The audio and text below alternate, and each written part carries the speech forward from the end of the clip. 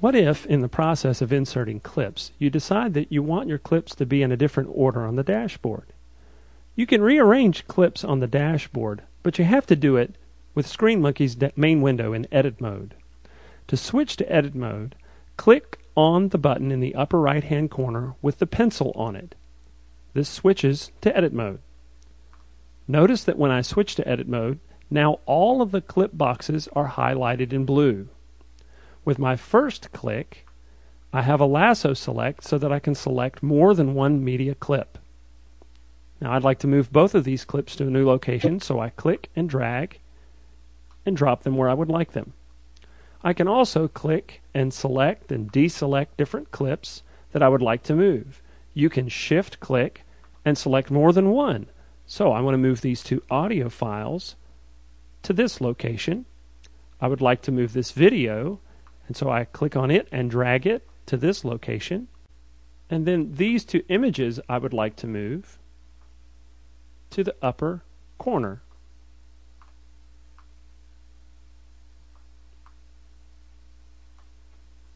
as soon as I can get it to behave for me. You can click and rearrange clips on the dashboard as you'd like it. In order to leave edit mode and switch back to live presentation, I click once again on the edit mode button and everything's back to normal. I'm ready for live control of my show.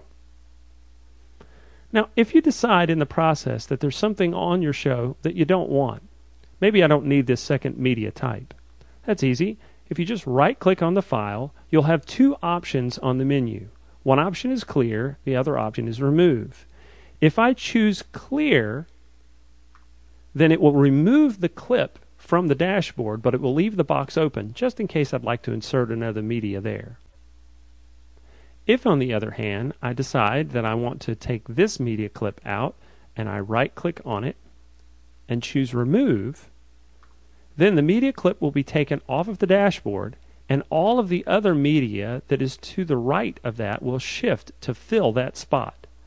So just keep in mind, clear leaves the box open and remove shifts all the other media clip boxes to fill the empty space. Well, there you have it. A little training on loading and organizing clips on ScreenMonkey's dashboard.